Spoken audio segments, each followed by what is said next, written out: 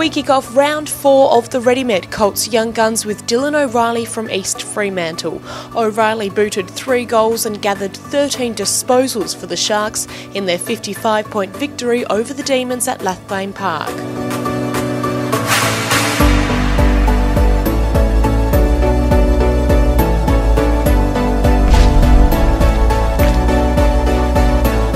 Tyrese Miller from West Perth kicked three goals and collected 14 disposals in the Falcons' 37 point win over South Fremantle at Fremantle Community Bank Oval.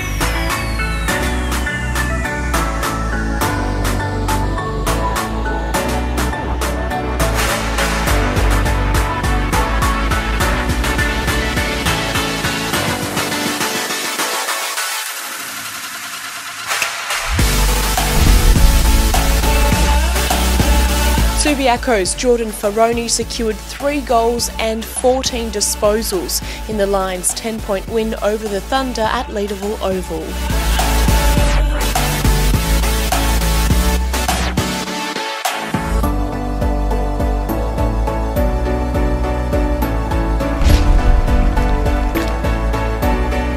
Addison Dew from Claremont gathered 17 disposals and booted three goals in the Tigers' 10 point victory over East Perth at Leederville Oval.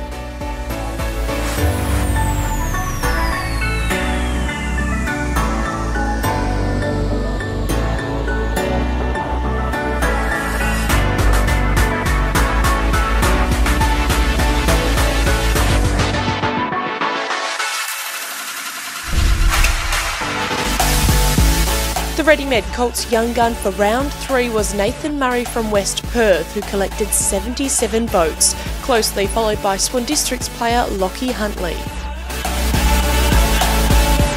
Head to the WAFL Facebook page and vote now for this round's RediMed Colts player.